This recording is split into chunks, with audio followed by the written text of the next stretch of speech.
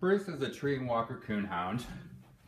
He's a dog that has absolutely no fur. He only has hair. Consequently, all year round, he's pretty, pretty cold. So he actually loves to wear scarves. And I always get stopped and people say, I've never seen a dog with a scarf on. So I'm gonna show you some of the scarves that Bruce has and give you ideas. So one thing that I buy for Bruce are infinity scarves. These scarves can be found at places like TJ Maxx, Marshalls, um, H&M, Uniqlo, and all you have to do is slip it over his head once, loop it, and loop it, and then it's on. And I like buying scarves that are contrasting colors to Bruce's fur, so I like getting bright color scarves. Some scarves wrap twice, some wrap three times. So that's one option. It's probably a, a polyester blend or wool blend. Um, so it's you know just a simple infinity scarf that you find. Um, often, you know, you can find a smaller scarf that's more of like a, um, a shawl, and this one will wrap twice around his head. And you just need to wrap it tight once and then put it on and you can see the contrasting pink and gray to his fur and his, his coloring um, and he really likes it. It keeps him warm and you know he's ready to go. Um, these are for days when it's not super cold because he has his share of jackets. He doesn't mind taking them on and off. You know, it's just like any other. So this one is more a lighter weight scarf that's probably a, a cotton blend of some sort has some metallic to it, so it kind of gives them a little shine. It's a little bit looser, so it's actually a nice scarf for the spring and fall when he doesn't really need one. So it's keeps a little looser and it's um, cotton, so it's a little bit lighter. Um, and it's there's not that much contrast, but the sparkle kind of gives it some interest. So here's a much heavier infinity scarf. And this one is nice um, because it has a fleece lining. This one I use a lot in the winter with a jacket. Um, just it really keeps him warm, but it's a one that will wind three times around his head. The third time gets a little bit tighter, but he, he doesn't seem to mind too much.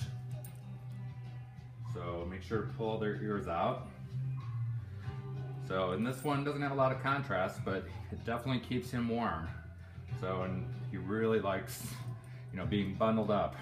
So, we live in both Chicago and New York City, and when we're in New York, we walk all the time, and so he's out in the cold, and sometimes we stop, and, you know, those kind of things keep him warm. So this scarf is, you know, it has a lot of contrast between reds and grays and blacks, more of a maroon. Again, it can go three times around his head. And then you can also spin it to, you know, find the color combination you like the best. And, you know, he may not look like he likes it, but he really does. so this is a scarf I bought at an, at an art show. It's more of a, a shawl. And this one can just be worn like that. It has a, a bow here, and you can just tighten the bow and it keeps it tighter around his, his body and keeps it in place. It does tend to stretch out a little bit here, but you can also use it as an infinity scarf. So um, all you do is loosen this up and then double wrap it around him. So, but it's it's from an art show and it was, um, you know, a handmade scarf and maybe it's something you can make as well. Um, here's another infinity scarf which will at least triple wrap and it's got a lot of contrast to his coloring. So, and it's kind of a waffle texture. So that's a good one for him. Gives him a lot of attention where, when he wears it because it, you know, it really contrasts to his own coloring. So um, another one is kind of a, a, simple, and this is one again is good for the for the fall because of its coloring and it's a little bit lighter weight. It's probably all cotton, so it says Express on it, so it must have come from Express. I'll also find scarves at Goodwill or Salvation Army and and wash them when I get home and you know, make sure that the scarf says it's hand washable. So it's, you know, it's, um, you know, something you can be clean before you put it on your dog. And then you can clean it because they, they will get somewhat dirty as well. Another one I have here is this animal print. It's like a leopard print or something. It's got more of a, a silky lining, but it, it also looks animally on him.